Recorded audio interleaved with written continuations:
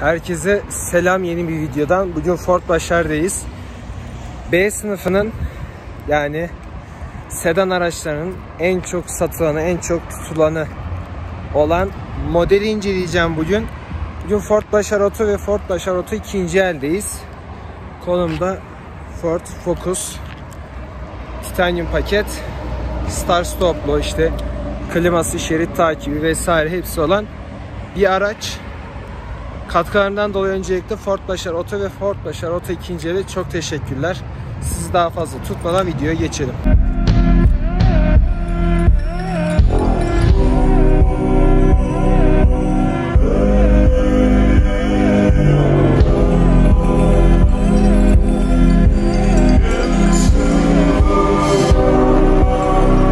Evet, aracımız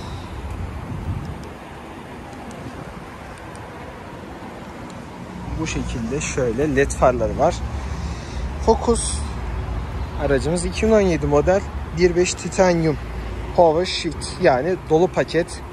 120 beygir 4 silindirli modeli 55 litre benzin litresi benzin deposuna sahip. 4 silindirli dizel modeli. 4 silindirler gayet güzel yırtılıyor Şehir içi 4.7 litre, şehir dışı 3.9 litre, karma 4.2 205 55 R 16 inç lastik ve jantla bizi karşılıyor ve katlanır aynası da var. Askeri yeşil grimsi bir şöyle anahtardan da bagajı açabiliyoruz ama herhangi bir tuş falan yok. Şöyle çekip kapanıyor. Arka tarafımızda park sensörlerimizin hepsi mevcut. Şöyle göstereyim. Araçta start stop var. Şöyle şerit ta sınır arası şerit takibi vesaire hepsi var. Sony Scenic modelli bir multimedya var. Otomatik vites, park sensörü falan hepsi var. Hepsini deneyeceğim. Şimdi isterseniz ön tarafından başlayalım. Ön tarafımızdan başladığımızda far grubumuz. Halojen far grubu sinyalimiz de aynı şekilde. Sis de aynı şekilde. Ön tarafımızda park sensörlerimiz mevcut. Burada da çeki demiri var. Orta tarafta büyükçe bir krom. Bizi karşılıyor. Krom ızgara. Yine park sensörümüz devam. Ön tarafta siyah mat siyah bir karlık var. Arka tarafında hemen bir size göstereyim. Şu şekilde çift sis lambası var. Geri görüşlerimizde halojen.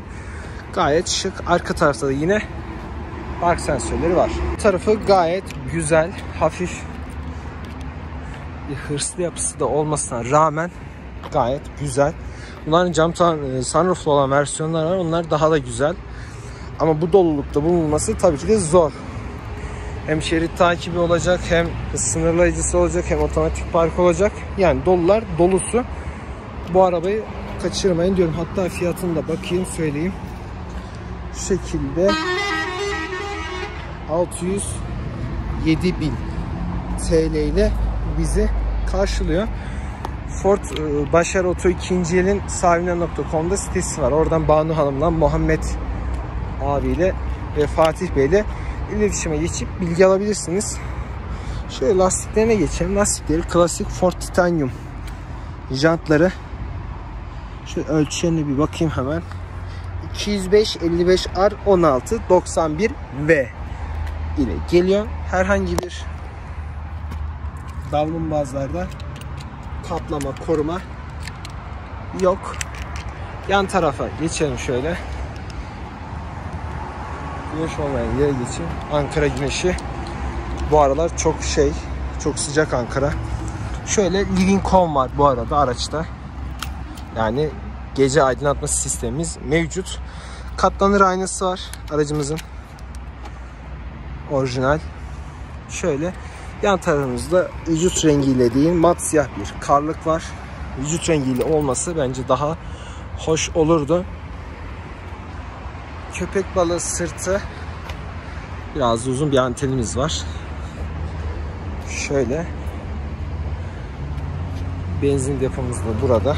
Baş, aracı için bana izin versin. AdBlue falan yok arkadaşlar. Burada hatta Opet Ultra Force Euro Diesel doldurma bir öneri yeri var. Şöyle içinde göstereyim. içini geçeceğiz zaten. Gayet geniş, ferah, siyah, krem rengi uyumlu içi. Arka tarafı da bu şekilde. Yani arka tarafı çok dar değildir diye umuyorum. Çünkü gayet geniş, büyük bir araç. Yeni nesil de büyüktü. Bunun incelemesi var hatta kanalda. Şöyle sağ üstte ben koyarım. Oradan izleyebilirsiniz. Şöyle. Şimdi içine geçelim. Evet. Kokpit kısmındayım arkadaşlar. Krom bir kapı kolu bizi karşılıyor. Buradan açıp kapatabiliyoruz. Dört kapıyı da. Buradan aynana ayarımızı hepsini yapabiliyoruz. 4 cam otomatik cam kilitleme mevcut. Şurada bir tane siyah parlak siyah bir yapı var. Gayet güzel olmuş. Burada bir buçuk litre bir tane küçük su alabilecek e, cebimiz gözümüz var. Büyüklü bir hoparlörümüz var. Ford'lardan bilindik olduğumuz far grubu burada. Direksiyon üstünde hız limitörünü ayarlama kısma, arttırma, sesli komut, cep telefonu yanıt verme, cevaplama, ses açma kısmı hepsi mevcut. Buradan sinyallerimizi açıp kapatabiliyoruz. Orta tarafta büyük bir multimedya ekranı bizi karşılıyor. Sony'nin Scenic modeli. Ford'un en çok kullandığı, en çok tutulan bir modeli bu arada. Ortada klimamız var. Şöyle yarım kontak yapayım ben sizin için. Şöyle 19.5'a 19.5 şekilde gayet buz eden bir kliması var. Gayet güzel. Büyük bir ekran. Şöyle. Hepsi var. Hatta acil yardım sistemi bile var diyebilirim. Genel ayarlarına şöyle girdiğimizde hepsi var. Home diyelim.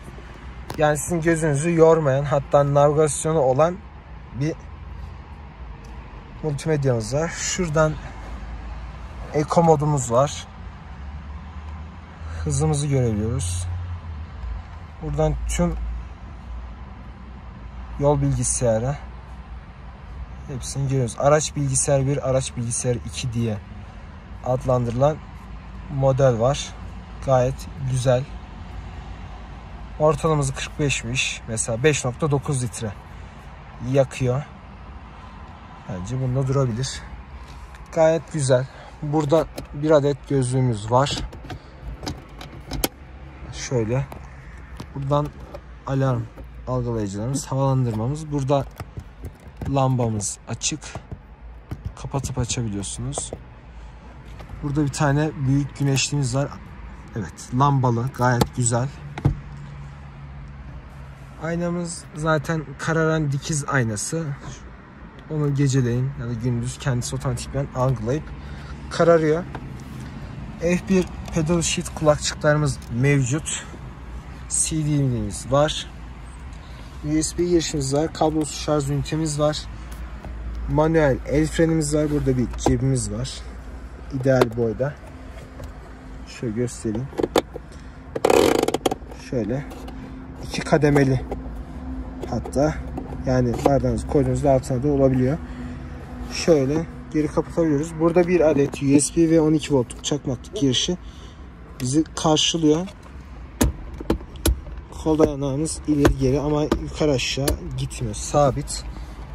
Gayet geniş, ferah. Bir de arka tarafına geçelim. Arka tarafındaki yaşam alanını görüp arkasından ses sistemini deneyip kısa bir park içerisinde kurallar gereği test sürüşünü çıkartmıyorlar. Tuğçe Hanım ve İrem Hanım'la görüştüm. Kurallar gereği olduğu için çıkartamıyoruz dedi. Burada bir test sürüşü, test denemesi diyeyim artık. Onu deneyeceğiz. Bir de park sensörünü deneyeceğim arkadaşlar. Evet şimdi bir ses sistemine bakalım bakalım Sony Sonic bize nasıl bir müzik keyfi yaşatıyor.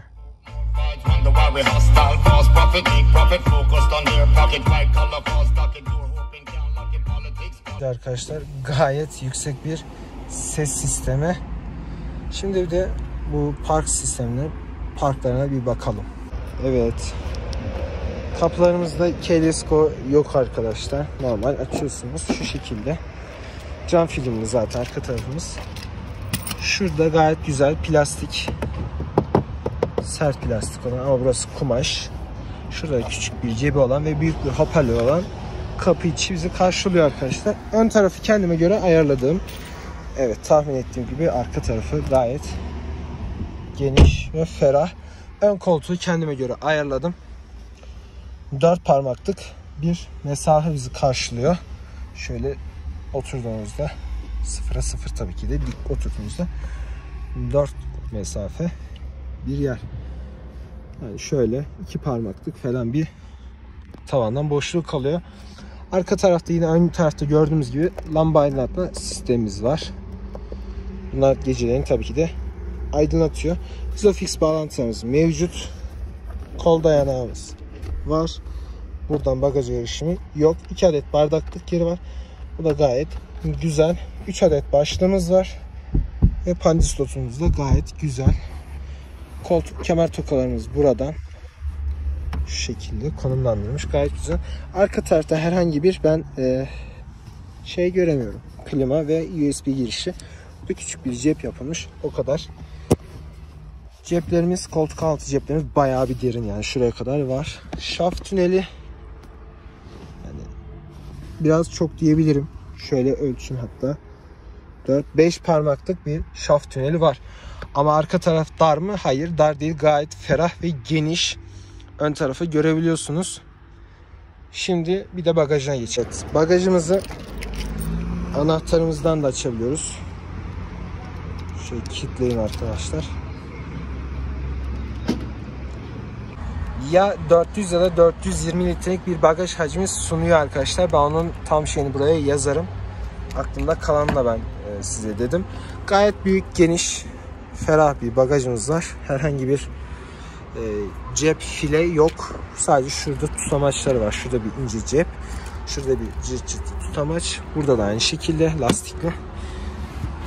İstetmemiz şu şekilde kesinlikle hiç kullanılmamış. Sıfır. Gayet güzel. Şu şekilde gayet büyük.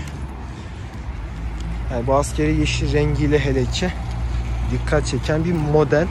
Evet şimdi bir park sensörünü aktif edeceğim arkadaşlar şu şekilde.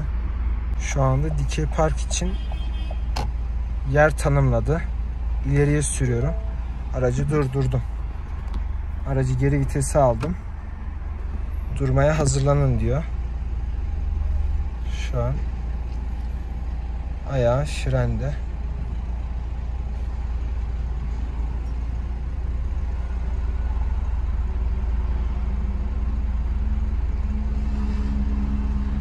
Şu anda otomatik parkını kullanıyor arkadaşlar. Ben sadece frene çek bas yapıyorum. Kesinlikle. Şu an vitesi ileriye alın dedi. Vitesi ileriye alın. Yavaşça sürün diyor. Ben yine frene basıyorum.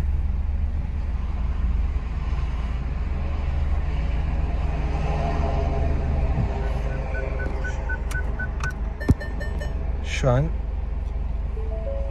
geri vitese ben aldım. Çünkü bu alan bayağı dar. Artık burada kendisi yapmıyor. Ben yapıyorum.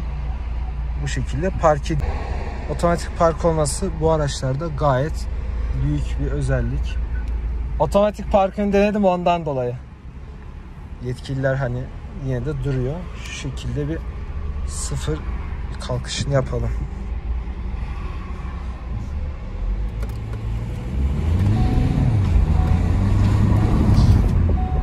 Gayet hızlanması da iyi. Şu şekilde yerine çekelim. Aracımızı teslim edeceğim. Ondan dolayı.